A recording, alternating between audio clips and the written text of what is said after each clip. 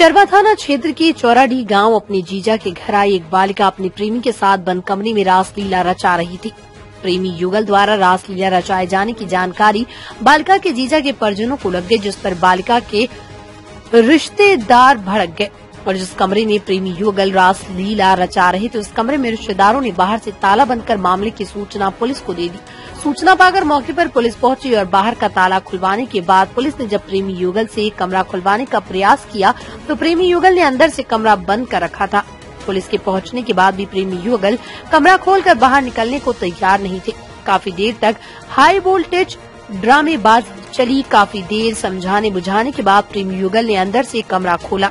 कमरा खोलने के बाद प्रेमी युगल को पुलिस ने बाहर निकाला।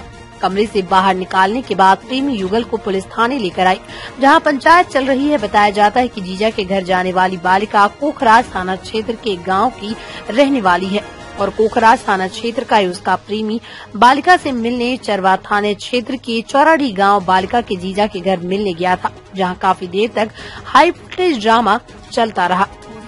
जनपद कौशाम्बी में एक प्रकरण प्रकाश में आया है, जिसमें एक बालिका ने अपने प्रेमी को अपने जीजा के घर बुलाया था।